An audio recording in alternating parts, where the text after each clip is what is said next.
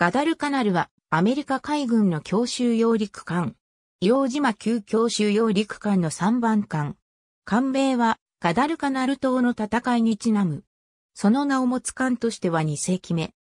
ガダルカナルは1961年9月1日にフィラデルフィア海軍造船所で起工し、1963年3月16日に第22代海兵隊司令官デビッド・エム・シャウプ、大将の夫人によって命名、浸水し、1963年7月20日にデール系ピーターソン大佐の指揮下で収益する。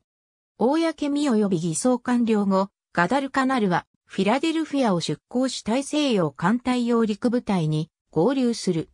艦は上艦、輸送及びヘリコプターによる攻撃を想定した新型艦艇として上陸作戦への柔軟性を提供することとなった。1963年10月23日にノーホークを出港し、グアンタナモ湾での6週間の成長訓練後、ノースカロライナ州のオンズロービーチへ向かい、12月6日に上陸訓練を行う。その後は、ノーホークを拠点として、大西洋艦隊において訓練及び即応作戦活動を1964年2月11日まで継続した。続く2ヶ月にわたって第12揚陸戦隊の機関として第12海兵隊進行部隊と共にステーションで待機し5月26日にフィラデルフィア海軍造船所のドック入りした。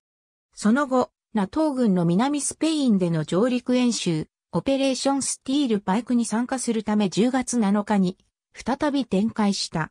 ガダルカナルは1967年まで大西洋艦隊で活動する。1966年7月21日にガダルカナルはケープカナベラル沖に着水したジェミ20号の宇宙飛行士を回収した。1969年3月13日にはバハマ沖でアポロ9号を回収した。1987年ペルシャ湾での機雷掃海作業中にガダルカナルは、イランの機雷不設艇、アジャールと遭遇。関西ヘリコプターによる攻撃と攻撃部隊の異常によって捕獲した。1991年には湾岸戦争においてイラク北部のクルド人救援活動、プロバイドコンフォート作戦の第一陣に海兵隊員を輸送した。